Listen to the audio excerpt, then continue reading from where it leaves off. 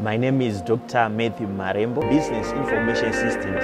Students will not only be able to use computers uh, or relate with content that has been created by others, but they can become content creators themselves and therefore remain relevant in this contemporary digital world. Enrollment at ZEGU is in progress. For applications, requirements, and application procedures, visit our website on www.zegu.ac.zw.